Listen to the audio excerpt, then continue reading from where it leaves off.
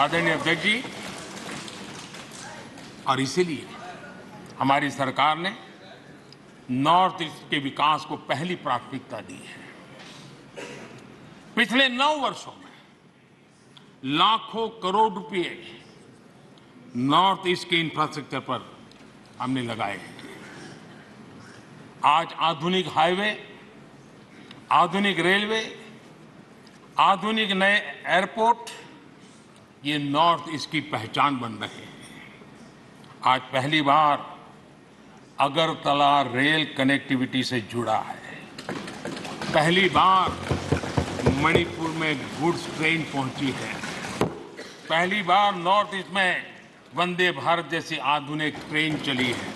पहली बार अरुणाचल प्रदेश में greenfield airport बना है।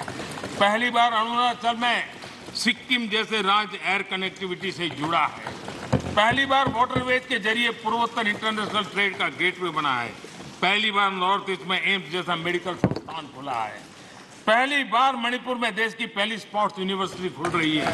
पहली बार मिजोरम में Indian Institute of Mass Communication जैसे संस्था खुल रहे हैं।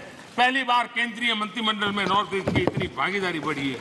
पहली बार नागालैंड से एक महिला सांसद राज्यसभा में पहुँची है। पहली बार इतनी बड़ी संख्या में नॉर्थ ईस्ट के लोगों को पद्म पुरस्कार से सम्मानित किया गया है। पहली बार पूर्वोत्तर से लसित बरफुकन जैसे नायक की झांकी गणतंत्र दिवस में शामिल हुई है।